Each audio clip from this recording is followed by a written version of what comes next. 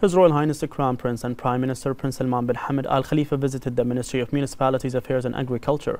Upon arrival, His Royal Highness was received by the Minister of Municipalities Affairs and Agriculture, Engineer Wael Mubarak. His Royal Highness highlighted that the implementation of the government plans, initiatives and programs constitutes a joint responsibility that requires Team Bahrain's collaborative efforts to build on the kingdom's achievements within its wide-ranging comprehensive development led by His Majesty King Hamad bin Isa Al Khalifa.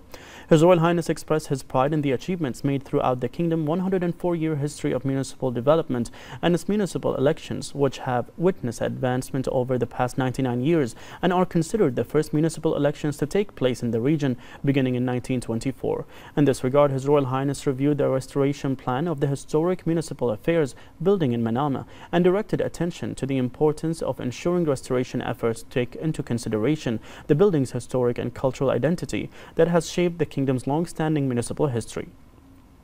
His Royal Highness was briefed by Mubarak on the restoration plans of the Manama Municipal Affairs Building and other strategic municipal projects. Al-Mubarak further presented the latest developments in the kingdom's afforestation plan which was launched in 2022 and aims to complete the planting of 310,000 trees and 570,000 mangrove seedlings by the end of this year. The move aims to fulfill the Kingdom of Bahrain's commitment to combat climate change and preserve the environment. His Royal Highness noted the Kingdom's steadfast commitment to advancing environmental security, a top priority in Bahrain development plans, and to developing efforts to protect its natural resources and contribute to sustainable development.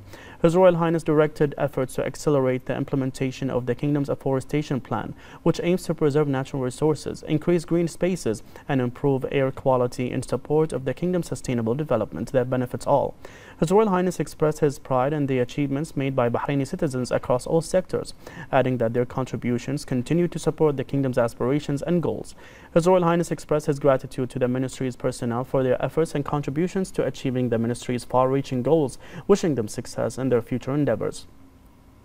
For his part, Mubarak welcomed His Royal Highness's visit to the ministry, highlighting His Royal Highness' ongoing support for the ministry's development initiatives, services, and efforts aimed at achieving the kingdom's sustainable development goals. He emphasized the ministry's commitment to further develop the municipalities and agriculture sector and its service in line with Bahrain Economic Vision 2030 and the kingdom's comprehensive development led by His Majesty the King. The Deputy Prime Minister, Sheikh Khalid bin Abdullah Al Khalifa, the Minister of Finance and National Economy, Sheikh Salman bin Khalifa Al Khalifa, and a number of senior officials were also in attendance attendance.